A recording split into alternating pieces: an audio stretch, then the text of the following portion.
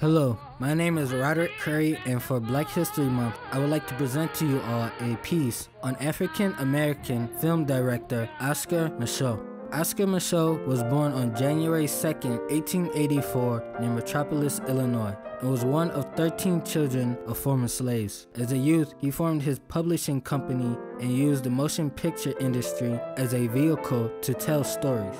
In 1919, he became the first African American to make a film, which was the silent film The Homesteader, starring Evelyn Preer. His first talking film was 1931's The Exile. He was able to make himself the first black film auteur without the slightest help from film industries and against race and class prejudice, along with the lack of higher education.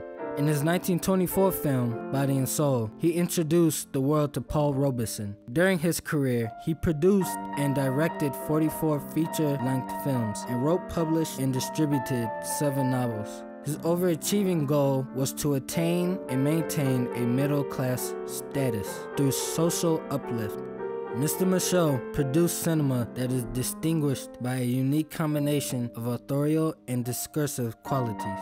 Through his work, he demonstrated that middle class cinema can succeed in the right hands and resist racism and sexism.